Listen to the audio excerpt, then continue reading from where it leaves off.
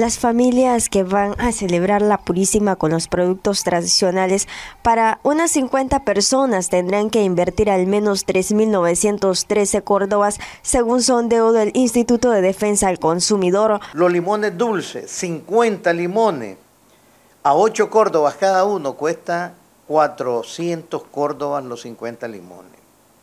Banano, 50 bananos, a 1,50 cada uno, 75 córdobas.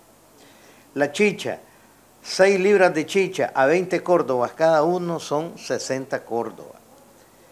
Bolsa para la chicha, 50, valen 350. El total a 175 eh, córdobas. Azúcar, 4 libras a 13.50, 54 córdobas. Hielo en bolsa, 4 a 6 córdobas son 24 córdobas. Barejón de caña, 15 barejones de caña a 10 Córdoba son 150. Cajeta de coco variada, 50 a 5 Córdoba, precio unitario 250. Cajeta de leche, 50 cajetas de leche a 5 Córdoba, 250. Gofio, 50 gofio a 5 Córdoba cada uno son 250.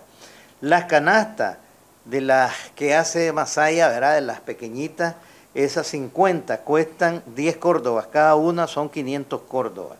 Los pitos, 50 pitos a 1,50 cada pito son 75. Las matracas, 50 matracas a 6 córdobas cada matraca son 300 córdobas. Una virgen mediana de yeso cuesta 1.350 córdobas. Una virgen mediana. Si nosotros comparamos al año anterior, para este año aumentó 926 Córdoba.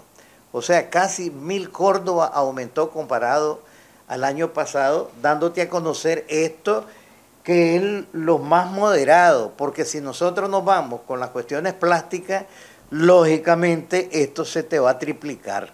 Pomares dijo que algunos productos aumentaron de costo como el limón dulce. El limón dulce está caro, está carísimo. Aquí te lo estoy poniendo 8 Córdoba, ¿vale? Un limón dulce. Y el año pasado lo comprabas en 5 córdobas. O sea que aumentó 3 córdobas solamente lo que es el limón dulce. Las cajetas variaron porque las cajetas costaban entre 3 y 4 córdobas, hoy cuestan 5. Este 27 de noviembre los nicaragüenses iniciaron con la novena a la Purísima. Noticias 12, Darlene Telles.